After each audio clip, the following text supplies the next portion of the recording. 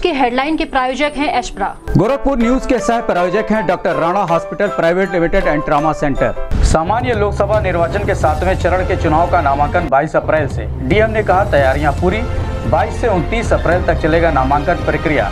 2 मई को हो सकेगी नाम वापसी 19 को मतदान और 23 को होगी मतगणना। लोकसभा चुनाव के नामांकन प्रक्रिया को देखते हुए कचहरी चौक से शास्त्री चौक तक सुबह 9 बजे से अपराह्न 3 बजे तक रहेगा रूट डाइवर्जन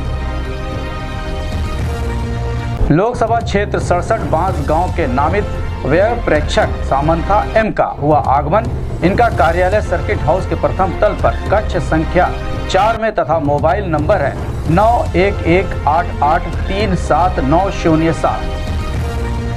क्राइस्ट चर्च में रविवार को आयोजित की गई शोक सभा श्रीलंका में हुए सीरियल बम ब्लास्ट में मृतकों के लिए दो मिनट का रखा मौन दी श्रद्धांजलि।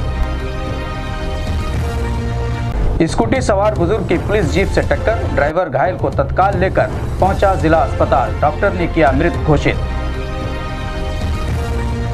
कांग्रेस पार्टी के जिला अध्यक्ष की अध्यक्षता में संपन्न हुई बैठक, पार्टी के बाँस गाँव प्रत्याशी के जीत की बनी रणनीति। ईस्टर डे पर प्रभु यीशु के बलिदान दिवस पर निकला जुलूस। प्रभु यीशु मसीह के बलिदान क्रूसीकरण से संबंधित आकर्षक झांकियाँ हुई शामिल। राष्ट्रीय कला मंच द्वारा नेशन फ़र्स्ट वोटिंग मस्ट मतदाता जागरूकता का आयोजन किया गया। कवि सम्मेलन कार्टूनिंग और रंगोली के माध्यम से छात्र छात्राओं ने वोट देने का संदेश दिया। ईस्टर के मौके पर श्रीलंका में हुए आतंकवादी हमले में मारे गए लोगों को कैंडल जलाकर दी गई श्रद्धांजलि। और अखिल भारतीय विधवत महासभा द्वारा हिंदू व्रतों, पर्व एवं त्योहारों की सूची के कैलेंडर का पूर्व महापौर ने किया लोकार्पण।